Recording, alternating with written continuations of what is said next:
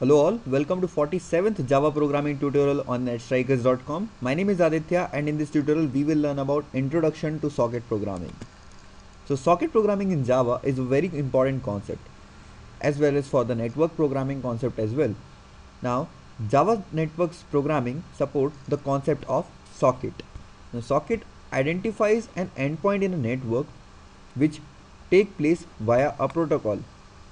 Socket communication can be used for the Java input output system to other program that may reside either on this machine or on the other machine which is called as server. Now let's take an example from this diagram. Suppose the source this which is our computer consists of an IP address 192.168.1.200 in which we want to send the data to the destination which consists of different IP address which is 192.168.1.8 now the point to be note here is the source IP address consists of a source port which is 15678 which bind which act as a tunnel to transfer the data to the destination from the for the different port which is 8888. So socket help us to communicate and to transfer data from source to the destination. Now let us understand about the TCP IP socket now TCP IP stands for Transmission Control Protocol and Internet Protocol. These sockets are used to implement a point-to-point -point reliable bidirectional stream-based connection between host and the internet. There are two types of TCP sockets which are available in Java.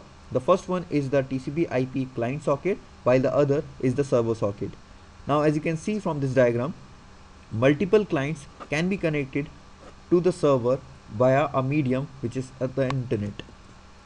Now let us understand about the TCP IP client socket. Now the, this socket class which is available in the java.net package is for the client socket. It is designed to connect to the server socket and initiate the protocol exchange. Now there are two constructor which are used to create the client socket. The first constructor is the socket constructor which takes two parameter. The first one is the string host name while the other and is the port number the point to be noted here is this constructor will throw an unknown host exception as well as the IO exception. While the other socket takes the two parameter first one is the inet address object while the other is the port number in the form of integer. This will throw an IO exception.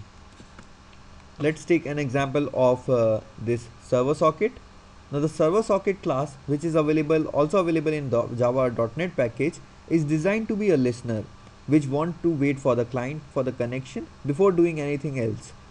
Now this server can be assigned remotely or in our local machine itself. So when we create a server socket it will register itself with a system that have an interest in the client connection. The syntax for the server socket is server socket which will take the port number and it will throw an IO exception. That's all for this tutorial. I hope you liked it. In our next tutorial, we will create our first Java socket networking program.